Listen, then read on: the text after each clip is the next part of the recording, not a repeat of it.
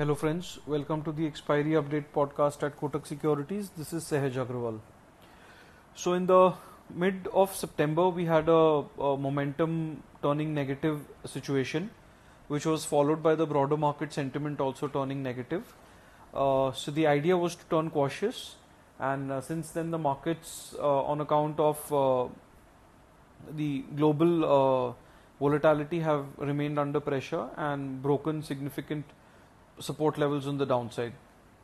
The monthly support of 17,000 was initially broken, which uh, uh, further uh, led to continued selling pressure.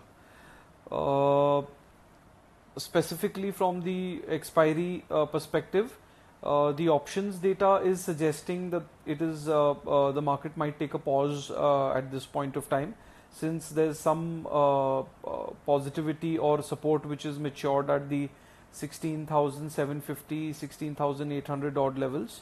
Uh, the broader market sentiment and momentum continue, continue to remain uh, weak with a negative bias. Uh, if you look at the FIN Pro positions, uh, there has been some marginal reduction in the net shorts, but overall the bi overall bias continues to remain negative. The maximum open interest build up for Nifty is seen at 16,800 put and 17,000 call whereas for Bank Nifty it is seen at 37,500, 38,000 put and 39,000, 40,000 call options.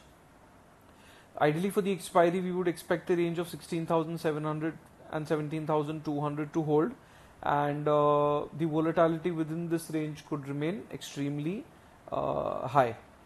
Thank you and have a nice trading session.